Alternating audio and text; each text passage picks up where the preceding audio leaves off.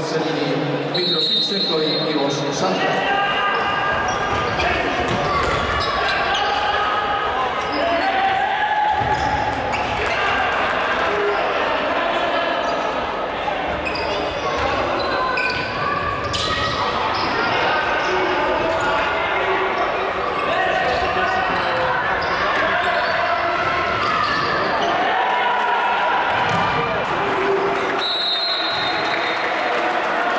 piłka po podbiciu, który zagrywana będzie przez ekipę gospodarzy z auto.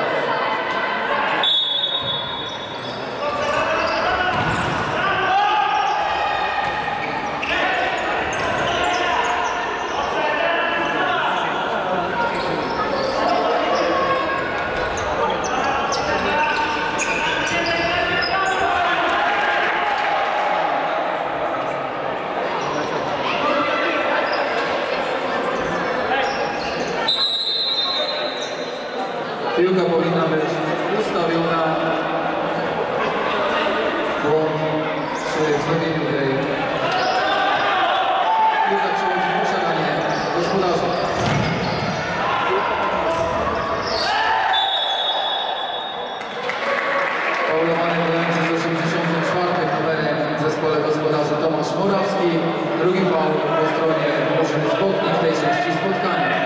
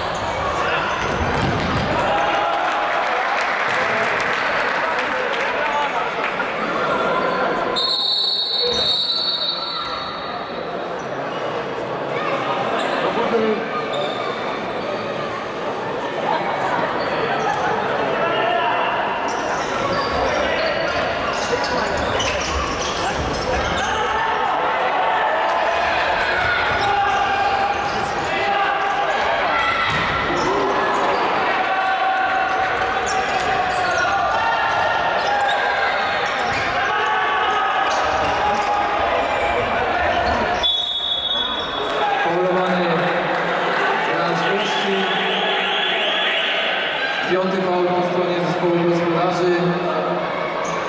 W przypadku następnego przewinienia będziemy świadkami przedłużonego rzutu karnego.